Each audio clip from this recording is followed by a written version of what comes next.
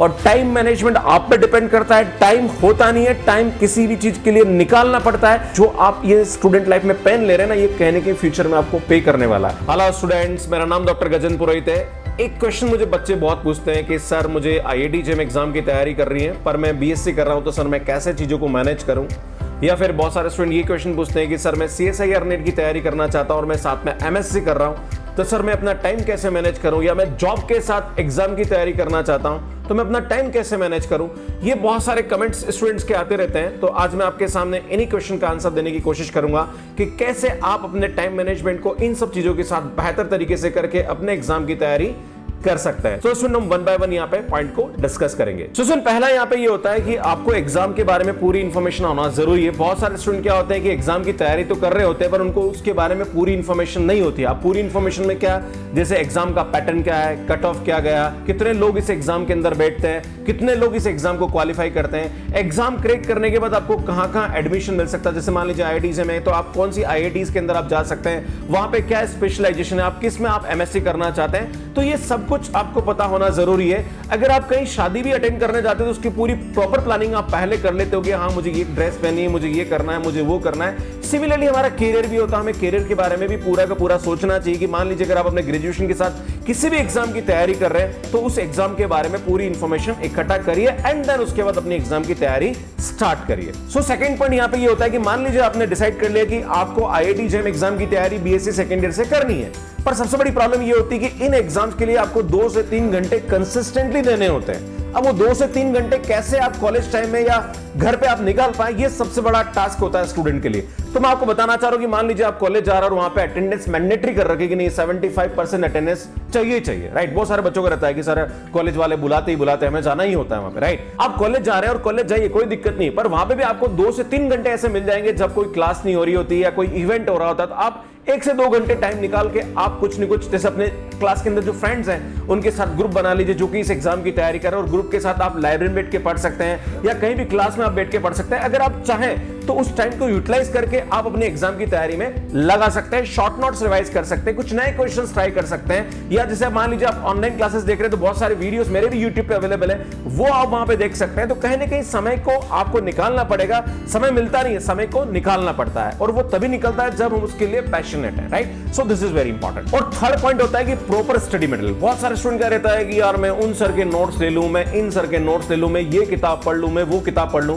इसमें बताना चाह रहा हूँ, बहुत सारे स्टूडेंट एग्ज़ाम की तैयारी करते हैं और इन चीज़ों में अपना समय खराब कर देते हैं। आप जो भी कंटेंट आप पढ़ रहे हैं, वो प्रॉपर होना चाहिए। प्लस आपको लगता है कि यार ये सर ऐसे हैं जिन्होंने बहुत अच्छे तरीके से पढ़ा रखा है उस कंटेंट को आप प्रॉपर फॉलो करिए क्वेश्चंस लगाइए और मेहनत करिए। अगर एक बार आपने वो पूरा कर लिया, फिर दूसरे कंटेंट पे आप जाइए। होता क्या है कि आप एक ही चीज़ को तीन अलग अलग किताबों से पढ़ोगे या तीन अलग अलग मेटेरियल से पढ़ोगे तो आपका समय खराब होने वाला है। तो ये थोड़ा ध्यान देने की ज़रूरत, क्योंकि आप जब साथ में ग्रेजुएशन भी कर रहे हैं एग्ज़ाम की तैयारी भी कर रहे हैं और साथ में दो तीन टाइप का कंटेंट लेके बैठे हुए हैं तो आप टाइम बहुत खराब करने वाले हैं। तो दिस इज़ वेरी इंपॉर्टेंट जिस भी एजुकेटर का कंटेंट आपको समझ में आ रहा है कि हाँ ये लगता है कि यार सर ये बहुत अच्छा पढ़ाते हैं, मुझे इनका पढ़ना है, एक बार उनका पढ़ लीजिए, अच्छे तरीके से कर लीजिए, फिर आपको दूसरा किसी और का पढ़ना है तो आप पढ़ सकते हैं। सो जो नेक्स्ट पॉइंट है बड़ा इंपॉर्टेंट है, कहीं ना कहीं जो माहौल होता है, वो बहुत बड़ा इंपैक्ट डालता है और माहौल आपको क्रिएट करना पड़ता है। मान लीजिए, आप अपने कॉलेज में हैं और आपके कॉलेज के अंदर साठ बच्चे हैं, जिसमें से तीन बच्चे ऐसे हैं जो कि I I T JAM exam या सी एस एग्ज़ाम की तैयारी कर रहे हैं। तो आप उन तीन चार बच्चों के साथ अच्छे से मेहनत करिए। आपको कभी कभी ऐसा लगेगा कि यार, मेरी क्लास के सत्तावन बच्चे हैं, वो तो मज़े कर रहे हैं, वो तो किसी एग्ज़ाम की तैयारी नहीं कर रहे, वो हर इवेंट में पार्टिसिपेट भी करते हैं, वो मज़े भी करते हैं, वो पिकनिक भी जा रहे हैं, वो पिक्चर भी देख रहे हैं। यार, हम तो कुछ कर नहीं पाते, हम तो दिन भर पढ़ते हैं। पर स्टूडेंट जो आप ये स्टूडेंट लाइफ में पेन ले रहे हैं ना, ये कहने के फ्यूचर में आपको पे करने वाला है। तो ये थोड़ा ध्यान देने की ज़रूरत है।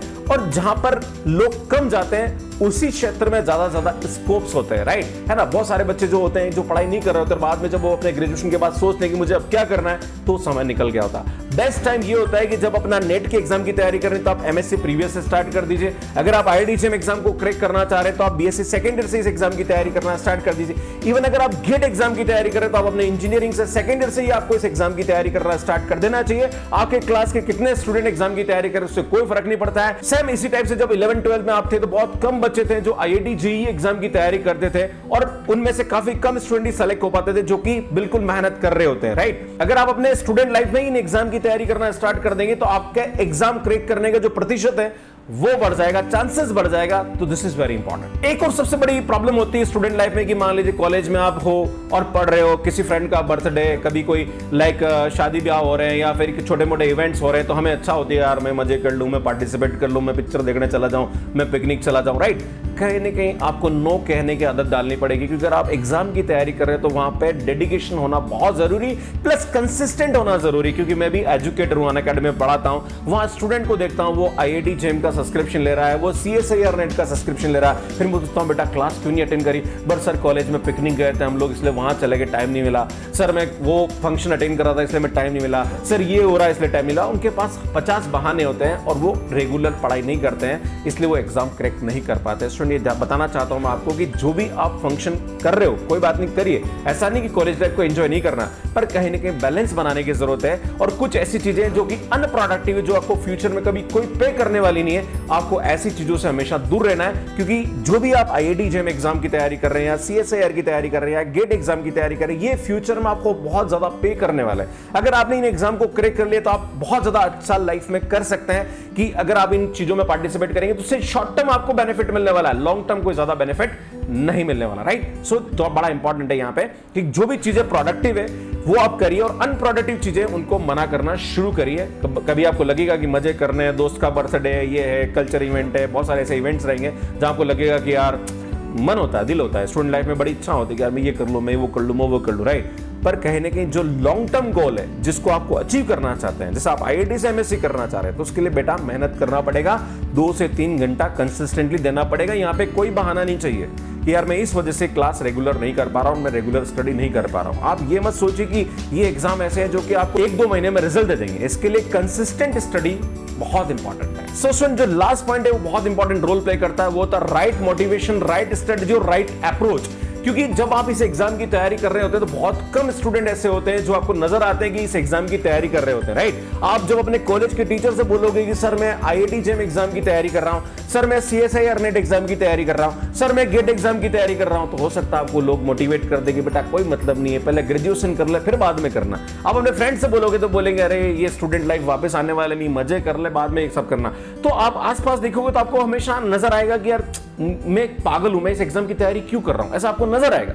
पर सुन, मैं बताना चाह रहा हूँ कि जो आप कर रहे हैं, और आपको आपको ऐसा लगता है कि नहीं, मुझे लाइफ में ये करना है और मैं इस एग्ज़ाम को क्रैक करके मुझे आईआईटी जाना है। बहुत सारे बच्चों का इलेवन ट्वेल्थ में बड़ा ड्रीम होता है कि यार, मैं आईआईटी क्रैक करना है, मुझे आईआईटी जाना है। पर ये जो ड्रीम है, ये ग्रेजुएशन टाइम पे कम नज़र आता है ना? उनको लगता है, अरे, तुम आईआईटी जाने के चांसेस बढ़ जाते हैं। अगर आप आई जेम एग्ज़ाम की बात करो तो पंद्रह हज़ार बच्चे मैथ्स के साथ एग्ज़ाम देते हैं और सीटें होती है लगभग हज़ार के आसपास। आपके एग्ज़ाम क्रैक करने की probability as compared to I JE ज़्यादा होती है है ना? पर स्टूडेंट कम मेहनत करता है। कम स्टूडेंट ऐसे होते हैं जो एग्ज़ाम की तैयारी कर रहे होते हैं और आपका सक्सेस रेशियो ज़्यादा होता है। Similarly C S NET GATE exam के लिए भी इतने अपॉर्चुनिटीज़ होती है। राइट अभी सीयूसीटी का एग्ज़ाम है। उसमें बहुत सारे ऐसी टॉप यूनिवर्सिटीज हैं जो कि एमएससी करवा रही मास्टर्स करवा रही अगर इस एग्ज़ाम की तैयारी करोगे, जैसे मान लीजिए जेम की तैयारी कर रहे हो तो आपके पैनल दो तीन एग्ज़ाम की तैयारी हो जाती है। कटिंग माई पॉइंट और कंसेप्ट क्लियर हो जाते क्योंकि जो आप कॉलेज में पढ़ रहे होते हैं, वहाँ पर डिस्क्रिप्टिव पढ़ रहे होते हैं थ्योरी पढ़ रहे होते हैं, पर जो कंसेप्ट होते हैं, वो इन एग्ज़ाम की तैयारी के दौरान आपके क्लियर होते हैं। तो यार, कहीं ना कहीं आपको जो नॉलेज होता है, वो रीपे करने वाला होता है। तो आपको खुद को मोटिवेट होना पड़ेगा।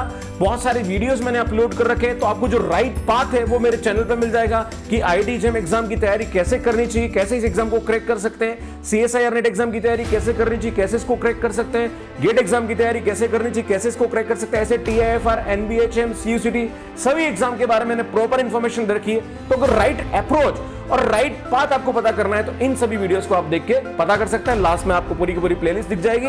सो सुन, कैसा लगा आपको ये वीडियो और मैं चाहता हूँ कि आप अपने एग्ज़ाम की तैयारी बिल्कुल अपने ग्रेजुएशन के दौरान करते रहिए। आप ये मत सोचिए कि कितने लोग इस एग्ज़ाम की तैयारी कर रहे हैं और मैं क्यों करूँ? ये तो कर ही नहीं रहे मेरे फ्रेंड इसके चक्कर में पड़ने की ज़रूरत नहीं है। और टाइम मैनेजमेंट आप पे डिपेंड करता है। टाइम होता नहीं है। टाइम किसी भी चीज़ के लिए निकालना पड़ता है। अगर इस एग्ज़ाम को क्रैक करने के लिए आप पैशनेट हो तो आप टाइम निकाल सकते हो राइट कॉलेज के अंदर बहुत सारा टाइम ऐसा होता है जब आप इधर उधर टाइम वेस्ट कर रहे होते दिमाग में लेके चलिए कि नहीं, मुझे इस एग्ज़ाम की तैयारी करनी मुझे मेहनत करनी है। शॉर्ट नोट्स बनाइए शॉर्ट नोट्स बना के रिवाइज करिए फ्रेंड्स के अच्छे ग्रुप्स बनाइए, उनके साथ डिस्कस करिए। और जो लोगों ने आईआईटी से अपना मास्टर्स किया है आईआईटी से अपनी पीएचडी करी है, या जो लोग इन एग्ज़ाम की तैयारी कर रहे हैं, उनसे आप बिल्कुल डिस्कस कर सकते हैं कि कैसे आप इस एग्ज़ाम को क्रैक कर सकते हैं। So thank you so much watching me comment करके बताइए कि क्या आप अपने ग्रेजुएशन के साथ साथ इन एग्ज़ाम्स की तैयारी कर रहे हैं और आप कौन से एग्ज़ाम की तैयारी कर रहे हैं। प्लीज़ कमेंट करके ज़रूर बताइए। Thank you so much watching me like करिए शेयर करिए और चैनल को ज़रूर सब्सक्राइब करिए। धन्यवाद।